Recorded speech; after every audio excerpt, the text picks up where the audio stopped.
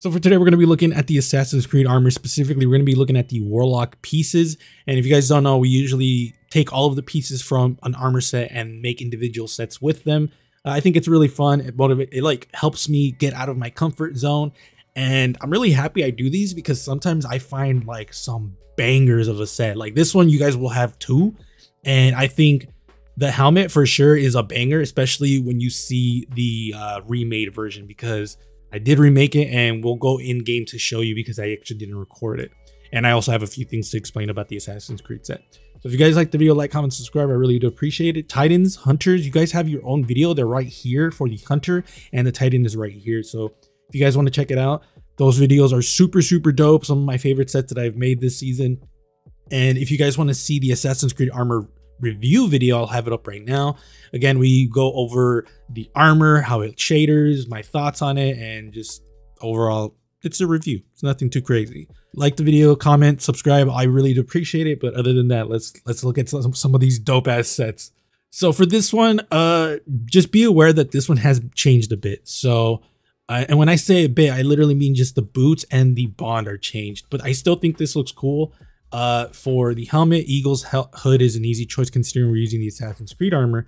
But for the arms, we're using Arc-Light gloves with painted Kitsune robes as a combo, and then Electromag stabilizers because uh, it's it's arc related, specifically arc light gloves, and it has lightning. So I was like, fuck it, we'll use we'll do it with an arc build because that makes the most sense to me. And then painted Kitsune robes has a lot of like electricity going through the robes. So I thought that was a really good combo. And then Electromag stabilizers. I'm gonna be real with you guys. Um, Geomags is a good choice, especially if you have the other ornament from this season. I immediately regret not getting that because when I put on the Arc-Light gloves with the painted Kitsune set, I immediately thought, ooh, the new Geomags is gonna look good with this because the new Geomags actually has like openings on the sides that have electricity coming out. Unfortunately, I don't have that ornament. So for me, Electromag Stabilizer is going to be the best choice. And then for the bond, Prefectus bond, Prefectus, Pref Prefectus bond uh, was not an easy choice. It was just a choice I made because that's the bond I usually go with when I when I go for a, like an electrical look because it kind of looks like I don't know what it like a battery. I don't know where my head was going for that one, but that's the one I used for the shader. Satou Tribe is an easy choice just because it's blue and it also gives this really cool like texture on cloth. So that's why I'm using it. Again, be aware that I do change it. We're going to go over it once I go over all of the other armor sets. But just be aware that this set is going to change dramatically. And I think that a new set just looks way better. For the next set, I ended up using the arms for the Assassin's Creed armor set.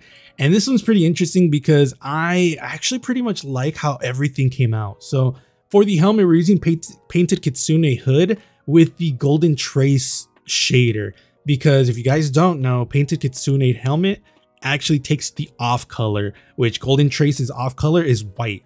So that's why I'm using Golden Trace because it gives me a white plate with gold, uh, with a gold color on the eyes, which is so perfect.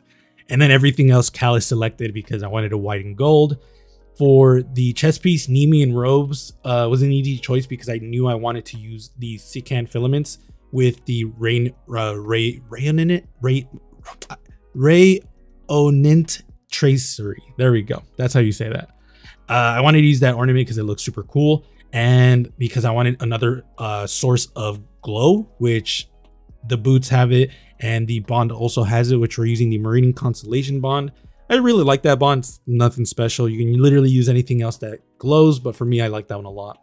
So for this one, I kind of went with a bougie look just because the arms have like like the the right side has like this really cool like uh texture and like gold as well. So I kind of wanted to retain that gold side. And then for the other side, it's just a little bit bigger, which helps the like forearm or the bicep not look as empty. And yeah, nothing too much to say about this one. I just kind of like went with my gut with this one because again, the arms, uh, because for me personally, the arms are just kind of boring. So I wanted to spice it up, I guess you would say. So Warlocks, let me know what you guys think about this one. For real, like my my pride and joy about this is the fact that I decided to put Golden Trace on it because it just looks super, super cool. And then when you see Golden Trace, you're just like, I would not have expected Golden Trace to be that shader. But again, when you're talking about off colors, Golden Trace is really good for this. And this is also why I really pride myself in knowing off colors of shaders because then you have situations like this where you would never know Golden Trace, a black and gold shader, would have a white off color. So yeah, just goes to show you, you should know your shaders. As for the chest piece, I ended up going for Apotheosis Veil as the exotic. For the arms, we're using the Street Scholar gloves specifically because one side has that like leather uh, shoulder pad and I wanted to have something there as well to have like some armor, even though it should have gone on the other side. But again, I was I, the chest piece for me personally is probably the most boring piece from the whole set. Um, and it's also the most annoying piece for me personally because I think the uh, the bicep and like the bicep and below and even up to a certain extent is just way too empty for me and it's just gonna make a lot of arms look boring which for the arm street scholar gloves again i think i explained this already but if the if the street scholar bond like the armor piece was on the other side i think this look, would, would look way cooler. Do be aware we do have arms that basically switch this so you could use those arms instead. For the boots forbidden visage boots was a choice that i made uh but on in hindsight i probably would use something else something a little bit with more leather because i do think forbidden visage does not match well with this because it's too much gold especially when you start to really see the rotation of my Warlock, you can see a lot of gold in there. And then Street Scholar Bond for the Bond because I wanted some color there to match the helmet. So the shader we're using is First Frost. I love this shader. The shader, or yeah, this shader is like one of my favorite shaders in the game.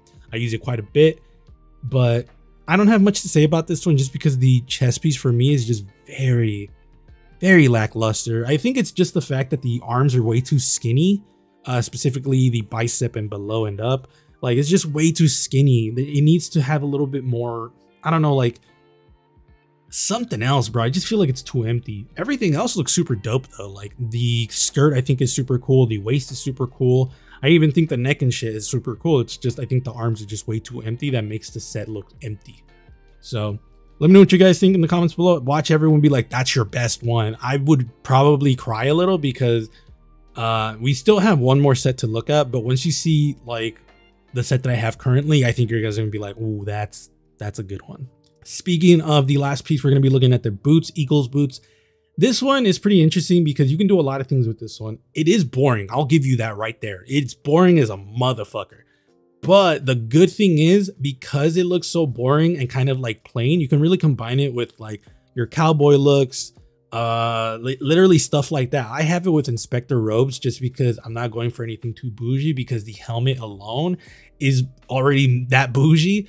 So for the helmet obviously we're using the Dawn Chorus Dawn Chorus is like one of my favorite looking ex exotics. I just think it looks super super cool. For the arms iron companion gloves because i like the covering of like the le leather covering it has. It reminds me of the boots. And then vernal growth because i wanted a little bit more gold in there so this one shader wise is pretty funny because I wanted to use Regal Daring. I really like that shader, but I also wanted to have the helmet gold. And unfortunately Regal Daring doesn't give you a gold helmet. It gives you like a white helmet. And then in the back, there's gold. And yeah, I wanted to, I wanted some gold in there, which is why I'm using gold leaf and then oiled gunmetal for the bond because I wanted a completely black bond because the gold doesn't change color. So I don't really have to worry about the the gold changing color. But I like this set a lot. I think it looks super cool, especially since like everything else looks like I, I kind of look like a fucking bounty hunter with just an extra ass helmet. And I think that's super funny. So that's pretty much it for those sets. Let's actually go in game real quick.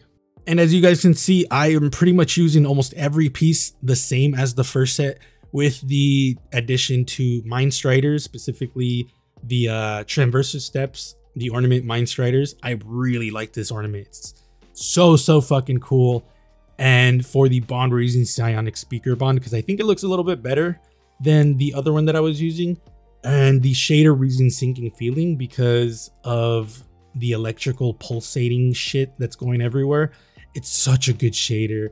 And this is pretty funny because this is where you can really like start mixing matching stuff because right now I have the arc light gloves and the painted Kitsune robes. If you were, if you want, you could just do something like this. Uh, where are you? And then for this one, I think it's the front. Yeah. You could also do something like this, which I think it's too much of the blue, which at that point I would probably just switch out shaders for something else. But you also have to remember that you, you want to retain some some blue speci specifically for the like glow. So that way it matches the glow on the chest piece. So I think this looks super cool. I like legitimately was wilding when I made this set because I think I was I was kind of bored of the traditional transversive step look, uh, look that I have, which is a Vex look. I've had that for a long time. And I just decided, let's just do something else. And I think this looks amazing. If you were to tell me you're going to make one of your favorite sets with the helmet from the Assassin's Creed set for the Warlocks, I would have laughed at you because I was like, I don't think I can, I don't think I'm going to make anything cool with that. And I think this looks amazing. Granted, uh, this may just be a, one of those situations where everything looks cool and the helmet you can really switch out for anything else which granted i think that might be the case yeah i think that is the case. It, but still i think uh i think this is a good helmet to choose if you don't find anything else. So warlocks let me know what you guys think. Which one is your favorite set? Me personally i like the one with sinking feeling as a shader because i think that shader looks amazing. And overall the electrical pulsating of everything looks super super cool. But i i don't know. It's pretty pretty rough because i do think the assassin's creed armor for the warlocks is pretty boring in some some aspects like a lot like actually a lot of it's boring.